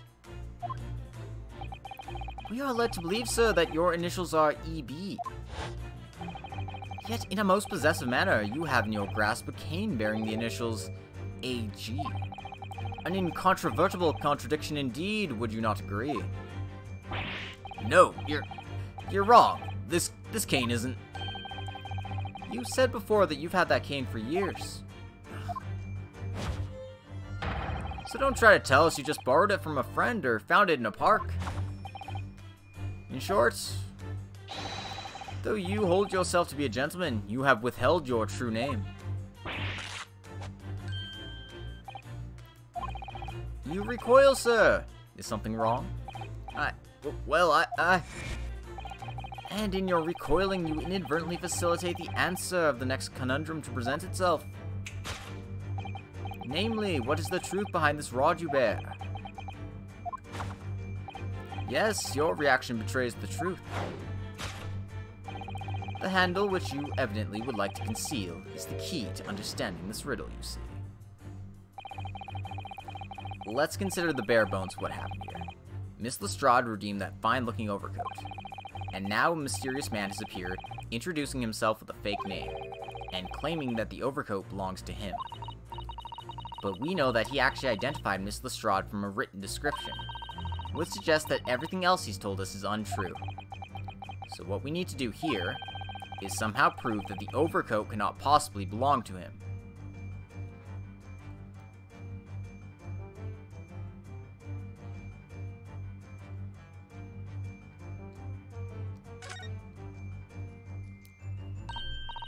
Oh, the seam on the shoulder there is coming apart. Look.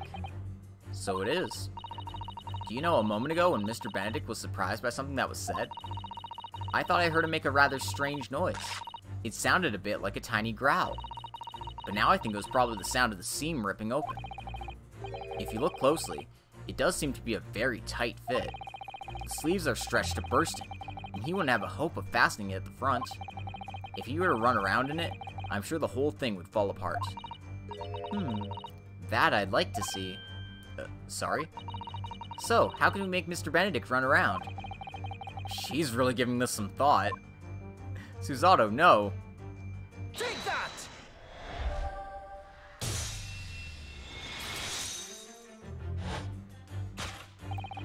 The split seam, which you evidently would like to conceal, is the key to understanding this riddle, you see. yes, because the overcoat is rather obviously a poor fit. Having forced it over your broad shoulders, the seam is already breaking apart. My suspicions were aroused from the outset.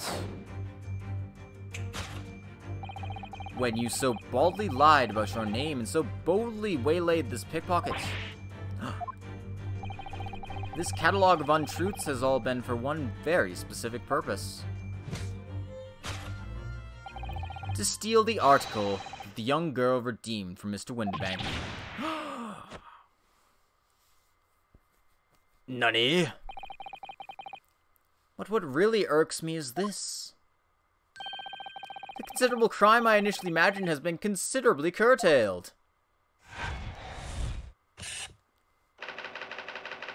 To abscond with a redeemed item. Yep, yep. Let's find out what this new great crime is.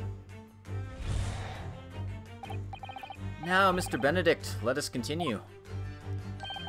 For we must expose the details of this elaborate crime you have in the planning. This is utterly absurd. You suggest that I, a gentleman, designed a wheeze to filch some tawdry article of pawnage. Have you forgotten that I have redeemed the article in the proper manner using the watchword? Had I not been the one to deposit it in the first place? How could I possibly have known the relevant, relevant details? Ne sais pas. Oh, but the watchword can be discovered. As you are only too well aware, Mr. Benedict. Ah, and your furtive glance is more telling than I could have hoped. What? Let us consider how one might come to learn a secret watchword relating to the pawned property of another. The method is revealed by the council notice on the counter to which your eyes were inadvertently drawn. The direction of the deduction must change rather dramatically now, I think. Yes, no more talk of tunneling into the sewers. Which is a pity, because it all sounded rather exciting. Anyway, you can't deny that this mysterious gentleman did know the watchword. Yes, Professor. If you didn't know that word, Mr. Windibank would never allow you to redeem the article. Or, looking at it another way, if you did know that word, Mr. Windibank would allow you to redeem the article whether it was yours or not. So the question is, could this gentleman have found the watchword out somehow?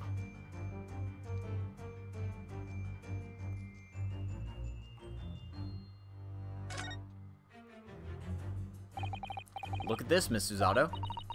Oh, it appears to be a memo that Mr. Windibank has scribbled to himself. Let's see. What does it say? Oh, Professor. Well, that makes it obvious, doesn't it? Mr. Windibank must make a note of the watchwords his customers give him right before their eyes. And in alarmingly clear script as well. Oh dear, I... I don't know where to look. Who knows what other secrets I might see. There's other things I want to examine on this on this desk, though. This is Mr. Windibank's gun. Yes, loaded with only one bullet, he said. It would appear that being a pawnbroker is a very life or death profession. That might just be this particular establishment. Take that!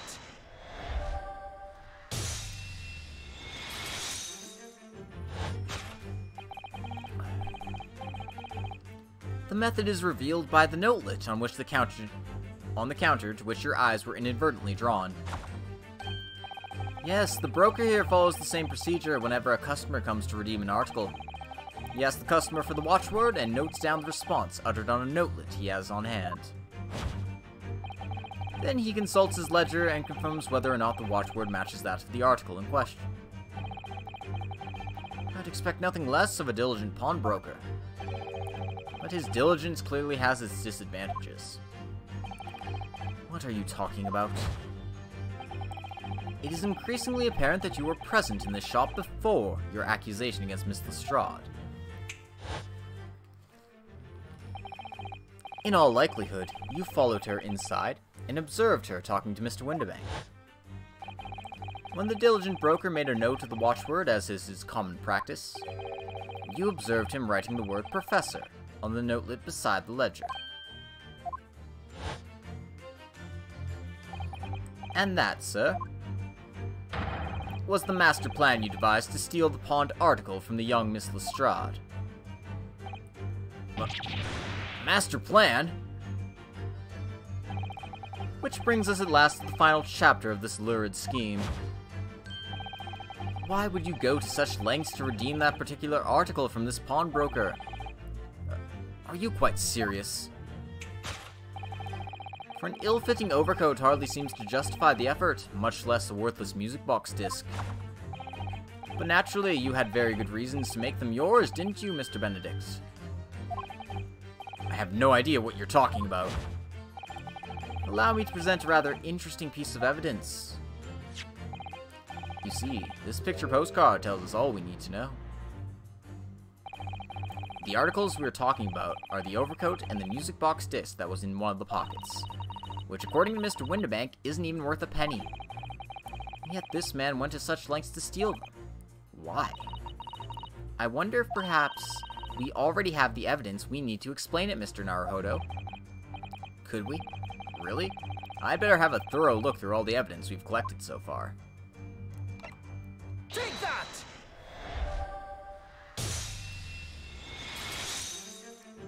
As a good lawyer always does, check your evidence before presenting it. So I'm not a very good lawyer, although I checked it way before presenting it. So I guess I'm a good lawyer. I'm such a good lawyer that I'm an amazing lawyer. It all wraps around. You see, this music box disc tells us all we need to know. What's that on the back? It reads, for McGilded.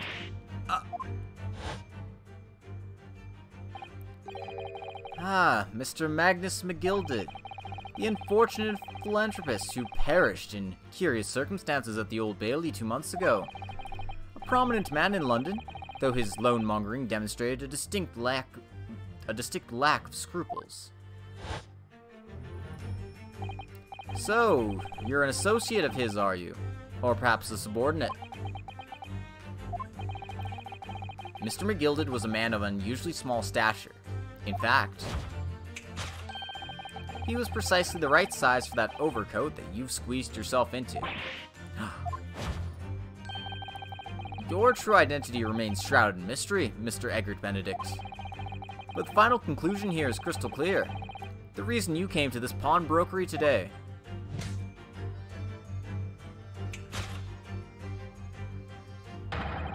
was to retrieve an article left behind by the late Magnus McGilded. Ah! Rip.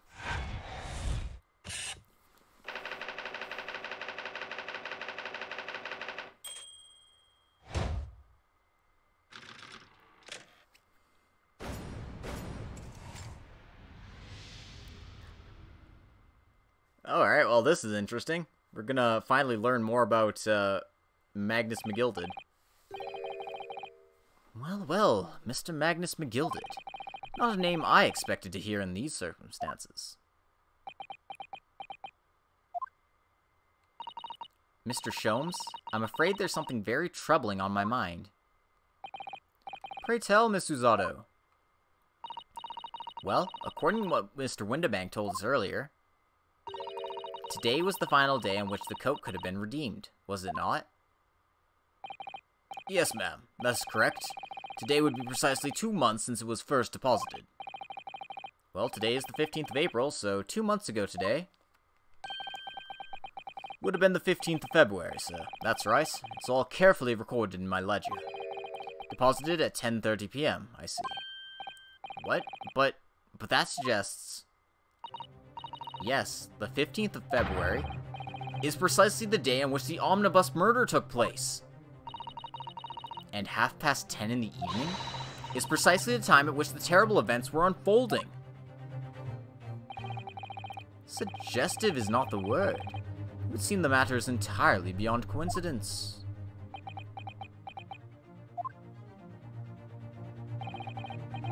You are, of course, at liberty to make whatever outlandish deductions you choose, however. I must insist you hand over the music box disc now. It would be a terrible shame for you to return to your native land in a box. What do I do?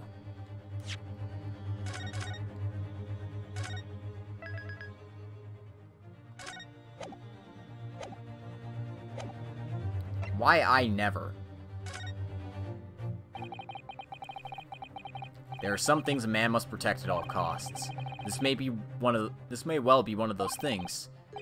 Again, it may not. M Mr. Windibank? This is my shop. I can't allow any harm to come to my customers. If that were to happen, I should have to take my own life. Mr. Windibank, no! Alright, that's enough. Oh, Scotland Yard. Inspector Gregson? Inspector. That's right, Sunshine. The alarm was raised on one of our dedicated emergency lines. So we got here as fast as we could. Now, what's all this about, eh? Oh, praise be! You're here at last! I was moments away from forfeiting my own life in my very own establishment. Sorry, I gotta kill a, gotta kill a spam bot.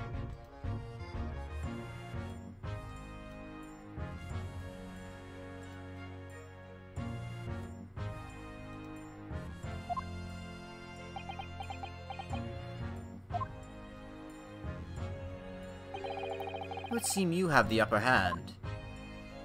As popular as always, Logic. You betcha. One day there will be hot local singles in my area. But not today. Right. You lot have got some explaining to do. I don't appreciate being bothered with some petty argy-bargy. But petty? Mr. Windibank very nearly met with his end. Yeah, by his own gun, as far as I can tell. Oh dear. The whole of Britain could meet with its end. If I don't get to the bottom of this case I'm supposed to be working on. What, what on earth is the case, Inspector? Spare no detail, Gregson. I, I might have said a little too much. No, no matter. Nothing to do with you lot. Anyway, sir, you're gonna have to come with me down to the station. But of course, Inspector. Ah! He's getting away! Get after him, lads! Whistle the beat officer, too! Sir! Gregson, what the fuck? There's been a spate of thefts at pawn shops around here recently. So we fit emergency buttons underneath the counters for brokers to let us know when there's trouble. Oh, Inspector, I was very worried there for a while. Very worried indeed. Now then, Mr. Permanently in Mourning. Oh, yes? He targeted Gregson's one weakness, the fish and chips. I'll be taking that whatever it is of McGilded's down to the yard, thank you very much. So hand it over. Oh, yes, of course. No, don't. Don't give it to him. It's mine, that is. Mine. Sorry, miss. Anything belonging to McGilded has to be taken in as evidence now. Uh, as evidence? If the police demand something as evidence, my dear fellow, we have no choice but to capitulate. It's all yours, Inspector. Gah.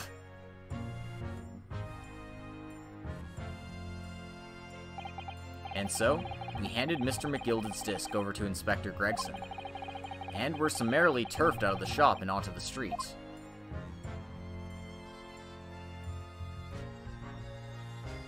Hmm. to be continued. Okay. So it was a bit shorter of a stream today, but I guess this is uh, this is good to go. I definitely, I could probably go for like another half hour or so, but definitely not for another entire like cycle. So yeah, guess uh, guess that's it for today. Uh, got a very interesting case starting up here. Uh, lots of lots of things being teased that I can't wait to see where they go with it. Uh, well, I I'm pretty excited for what's hap- what's gonna happen next. I'm not sure when I'm gonna be streaming next, but uh, hopefully it'll be soon. But again, don't know for sure. Um, in any case, thank you all for coming today. I hope you enjoyed this episode of the Great Ace Attorney Chronicles, and I hope you join me next time as we uh, continue on. I really should have examined Baker Street first because uh, didn't realize I would only get to go to the pawnbrokery and that would be it.